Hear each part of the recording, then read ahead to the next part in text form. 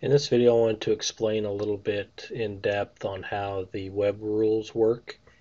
So you can, so here on this screen I've kind of got split screen. I have my teacher account over here showing uh, I'm logged into Lightspeed Classroom with my class and so you can see I have one student in my class and uh, what they're currently on. So you know if they go to YouTube, it'll pop up YouTube, most viewed, um, that sort of thing. And if I go ahead and click on the student, I'll be able to see the thumbnail, um, browsing history, that sort of thing. And I can also, you know, close tabs if I need to. So I wanted to show you the web rules. So right now, and by default, web rules are are always set to none, which means um, there's no web rules. There's no limiting that is happening um, in the with those web rules.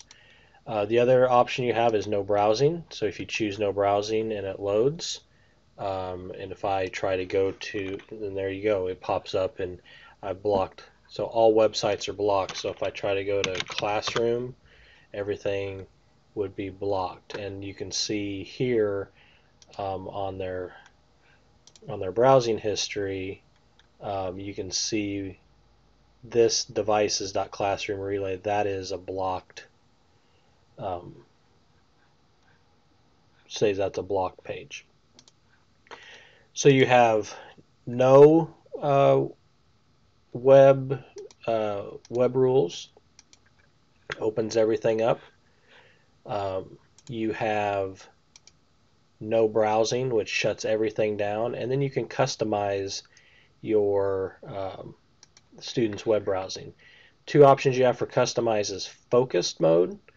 And on focus mode, students can only go to the websites that are listed. So they can only go here.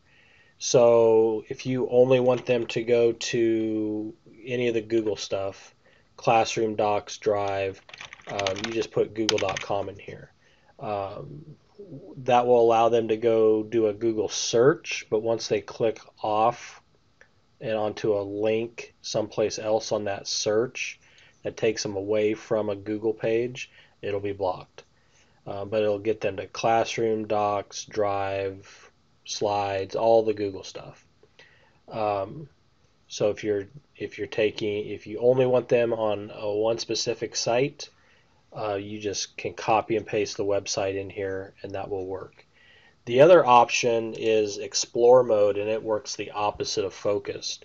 So on explore mode, all websites are open except for what's listed underneath and those are going to be blocked.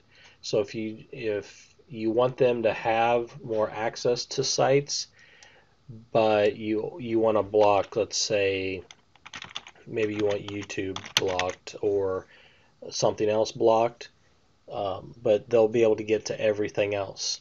So focus mode is really going to be your best friend here because you basically set the list of sites that the kids are allowed to go to. So if I if I just put google.com in here and click apply and I come up here this this site was blocked I'm going to go to classroom because it has google.com in it it lets me open up my my classroom. This has google.com in it. But if I try to go to YouTube, then that is going to be blocked. And if I try to go to Cool Math Games or whatever the website's going to be, it, if it doesn't have google.com in it, it's going to be blocked. So that's going to be your best friend. And um, and again, that is under the web rules here. And under customize. So you have none, which would be everything's open. You're not limiting any uh, web browsing.